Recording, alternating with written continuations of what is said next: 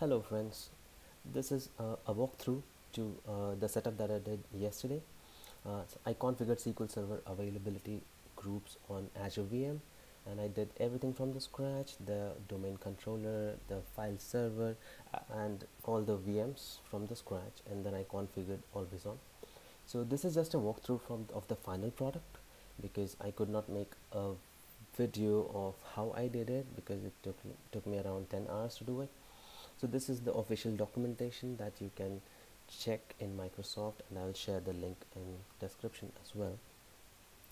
So what what you do is you, you these are the prerequisites. Uh, you need a VM for your domain controller two VMs for SQL and one VM for your file server the file share.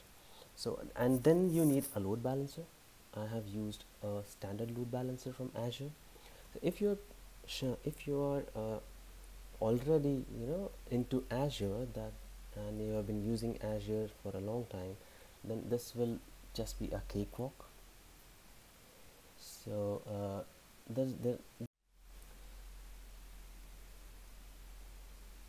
uh, there is a steep learning curve here in terms of load balancer which will be a new thing for us. Uh, so you you can go through the documentation and how load balancer is used in this case. And yes uh, so let me just jump into what what I did and how it looks. The documentation uh, you can go through the entire documentation. It has step by step everything mentioned what you need to do. Don't give up until you complete the documentation because it is a very lengthy one. And once you do it you will come to know how how things are different in this case. Uh, this is the PowerShell script that you need to run at the end. So this will create the listener name. So once you are done with all your failover cluster configuration and stuff you will need to run that with the you know IP from the load balancer. So uh, that PowerShell script has to be run in one of the nodes and that will create the uh, cluster parameter. Uh, this is the uh, network watcher from Azure.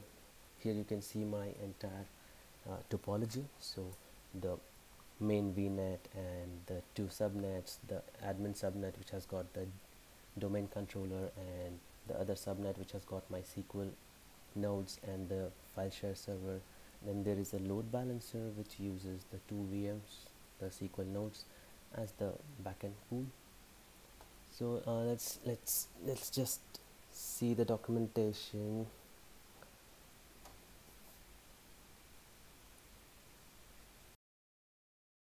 quick tip uh, here I have not uh, used you know the public IPs for my SQL database servers. I have used the file share to jump into my both uh, SQL nodes to configure my always on. To my resource group uh, this is my resource group where I have uh, deployed all my you know required stuffs for the always on setup. All the VMs all the public IPs the load balancers. I've used a single resource group so that when I need to you know destroy everything it will be quite easy for me. So you can see there are around 27 resources that I have deployed. It includes everything all the NIC cards and NSGs and the domain controller services and everything.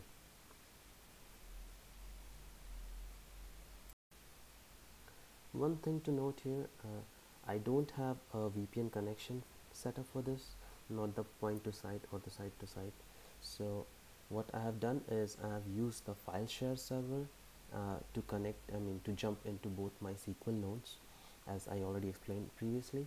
So uh, I'll, I'll, show you how I, uh, I will use my uh, file share server and I'll use the IP the public IP I'll get into the box and then I'll walk you through uh, my entire setup. I'll show you uh, all my SQL nodes and we will do a manual failover and an automatic failover. And yeah let's let's let's dive into it.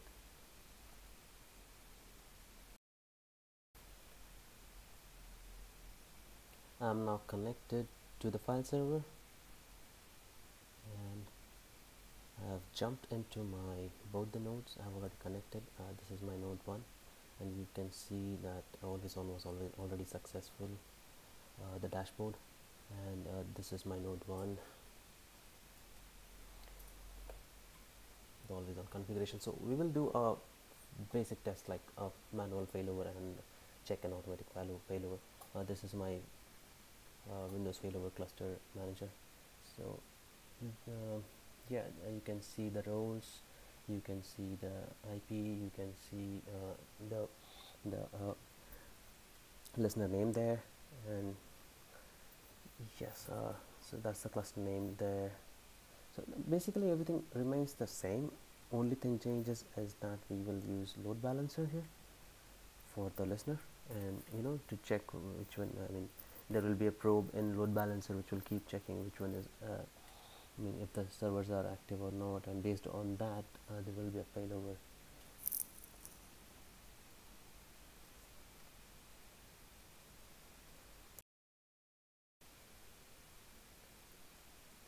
let's do a quick manual failover.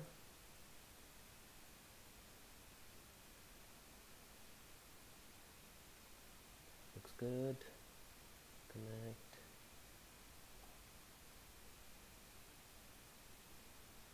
Should not take long. Yeah.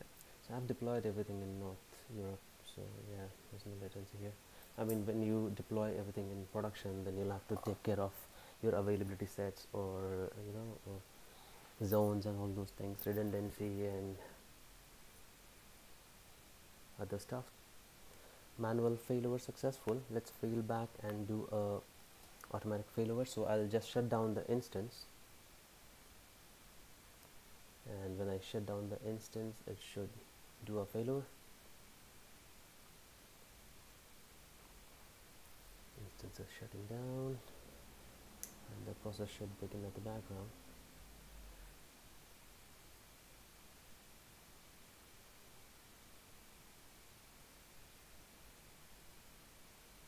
You can see it's changing now. The roles have been changing here. And if I do a refresh yep you can see the secondary has taken over the role of primary and the database is active. Let's do a quick test if the database accepts write requests. Yeah, and this is this table. I will try to edit that table add some add a single record and see uh, whether it accepts it.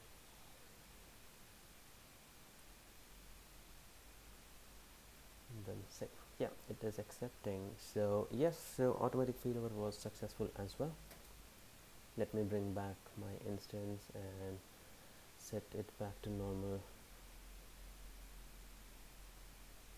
This is running fine.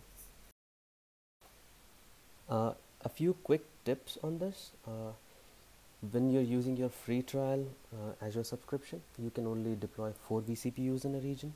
So use uh, the DS1 uh, for uh, with one vCPU so you can have all the four VMs done. You can also use the cloud witness and that so you can you don't need uh, the file share uh, VM and the last tip uh, uh last tip uh, that you uh, go through the load balancer documentation properly and understand it and why we use it.